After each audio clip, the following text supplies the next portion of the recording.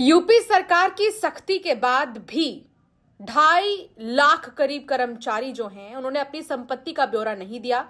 ऐसे कर्मचारियों का अगस्त का जो वेतन है, उसे रोक दिया गया। हालाँकि 16 घंटे बाद, मंगलवार को ही, यानी कि आज, इस आदेश को वापस कुछ ही देर पहले लिया गया। योगी सरकार ने कर्मचारियों का एक महीने का वेतन जो रोका, उसके लिए एक महीने का और वक्त दिया गया है और कहा गया है कि आखिरी तारीख 30 सितंबर है। 30 सितंबर तक ये बताना होगा कि किसके पास कितनी संपत्ति है। उत्तर प्रदेश में अपनी संपत्ति का विवरण न देने वाले सरकारी कर्मचारियों पर योगी सरकार ने सख्त एक्शन लिया। योगी सरकार की सख्त हिदायत के बावजूद अभी तक प्रदेश के दो लाख चौवालीस हज़ार से भी ज़्यादा कर्मचारियों ने मानव संपदा पोर्टल पर अपनी संपत्ति का विवरण नहीं दिया।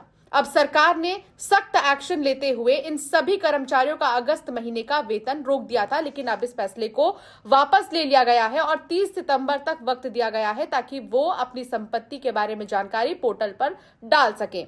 मुख्य सचिव मनोज कुमार सिंह ने सभी राज्यों के कर्मचारियों को 31 अगस्त तक अनिवार्य रूप से अपनी चल और अचल संपत्ति के बारे में पोर्टल पर जानकारी साझा करने के आदेश दिए थे। बावजूद इसके, अभी तक काफ़ी संख्या में राज्य कर्मियों ने अपनी संपत्ति का विवरण नहीं दिया।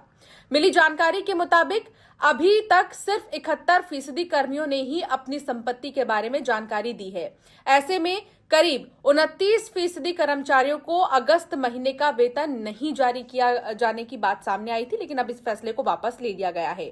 सभी कर्मचारी जो हैं, सरकारी कर्मचारी, उनकी संख्या की बात करें तो आठ लाख से भी ज़्यादा है। मुख्य सचिव के सख्त आदेश के बावजूद इनमें से छह लाख से ज़्यादा ने ही पोर्टल पर अपने संपत्ति के बारे में जानकारी साझा की थी। मुख्य सचिव की ओर से जारी किए गए आदेश में कहा गया था कि प्रदेश के राज्य कर्मचारियों को भी आईएएस और पीसीएस अफसरों की तर्ज पर अपनी संपत्ति का ब्यौरा ऑनलाइन दर्ज कराना होगा।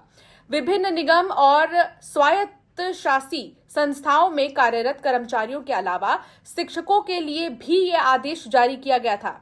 सरकार के सख्त निर्देश के बावजूद काफ़ी संख्या में कर्मचारी अपनी संपत्ति का ब्यौरा देने में ढिलाई बरत रहे थे और इसी कारण राज्य सरकार ने सख्त कदम उठाते हुए इन सभी कर्मचारियों का अगस्त महीने का जो वेतन है उसे रोक दिया था। संपत्ति का विवरण वाले राज्य कर्मचारियों से शासन काफ़ी नाराज़ है, जिन्होंने नहीं दिया और वेतन रोकने के अलावा उनके खिलाफ दूसरी कार्रवाई की भी बात आ रही थी। जानकार सूत्रों का यह कहना है कि अभी तक संपत्ति का विवरण न देने वालों में शिक्षा विभाग से जुड़े कर्मचारी बहुत ज़्यादा आगे संपत्ति का ब्यौरा देने वालों में सबसे ज़्यादा कर्मचारी टेक्सटाइल, सैनिक कल्याण, ऊर्जा, खेल, कृषि और महिला कल्याण विभाग से जुड़े हुए हैं। बेसिक शिक्षा, उच्च शिक्षा, चिकित्सा, स्वास्थ्य, औद्योगिक विकास और राजस्व विभाग से जुड़े सबसे ज़्यादा कर्मचारी ने अभी तक अपनी संपत्ति का विवरण नहीं दिया है।